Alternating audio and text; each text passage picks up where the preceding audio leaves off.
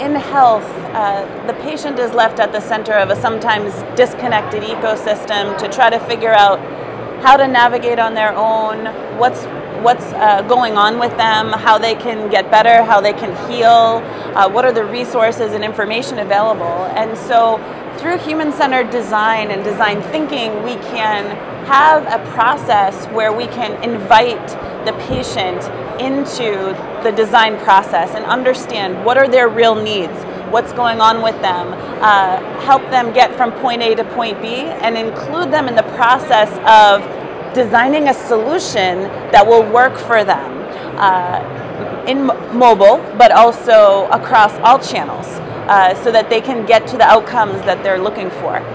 The main characteristics of human-centered design and uh, design thinking is to get all of the key stakeholders in the same room, an interdisciplinary team of business people, technologists, clinicians, and the end patients themselves. Uh, so we invite everyone to the table of innovation. We're not innovating in a, in a vacuum. Uh, one other key component is research.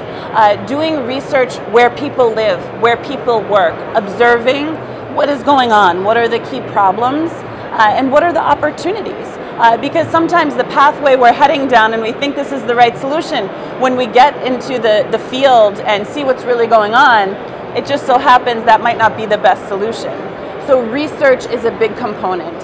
And then inviting everybody into the process and using um, ideation methods that involve uh, quick sketching, uh, quick uh, scenario building, so that we can start to build ideas that everyone agrees with and then test them with the end audience uh, and iterate through that. So it is collaborative, it's inclusive, and it's iterative. And where we focus too is not just uh, creating things that have a good go-to-market strategy and are easy to monetize, et cetera, et cetera. We focus on purpose-driven design. So making sure that our efforts are focused on providing real value in the lives of the people we're serving.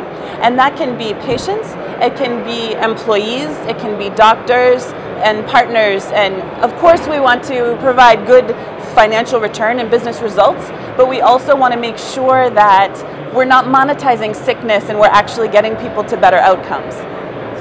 I think a lot about the difference between the United States and, and Europe. I think in the US, we look at Europe and we say, oh, they're single payer. That must be wonderful. They must have it all figured out. But in Europe, uh, facing the same problems of moving to value-based care, funding innovation, uh, getting uh, and making sure that patients are using the electronic medical record and engaging with the population health management tools we're creating.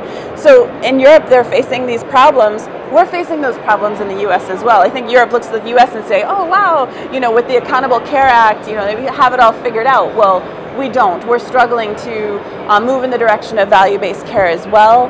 And no matter who's paying for the health care, the large organizations who are creating the systems and the policies and the processes um, they struggle to disrupt themselves and get out of their own way. Uh, and that's why uh, startups and uh, entrepreneurship is incredibly valuable because uh, a startup can have a viewpoint and pursue a method that works better that the large corporation or, or government organization just couldn't have come up with on their own. And so creating bridges between uh, startups and large organizations, corporations, government is essential.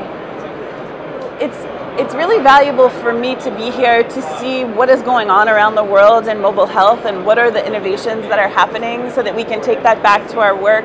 Uh, we do work globally uh, with uh, hospital systems, uh, you know, healthcare providers, insurance companies. Uh, we work with pharmaceutical and medical devices and life sciences companies. And so we really want to know what's happening four years from now uh, so that we can bring that back to our work here. Uh, I also want to build our network of collaborators because uh, we want to learn from each other